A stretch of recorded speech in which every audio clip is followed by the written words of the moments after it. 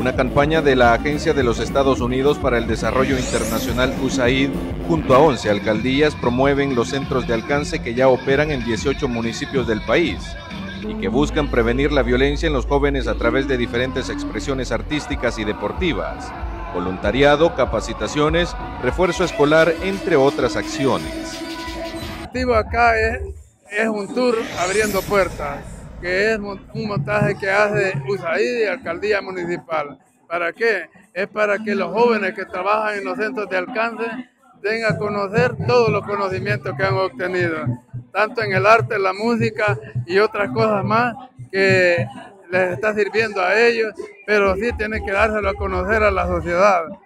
Dicho plan trata de dinamizar más los centros de alcance, de dar mayor dinamismo a estos lugares que presentan un menú a la juventud y demostrar lo que en ellos se hace.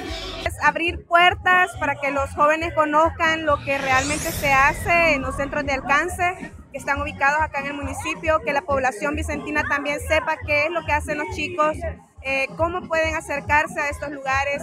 El evento tuvo lugar en el Parque Antonio José Cañas de la ciudad de San Vicente y contó con la participación de la banda musical Freeway, quienes son los voceros del voluntariado. Nelson Quintanilla, Telenoticia 21.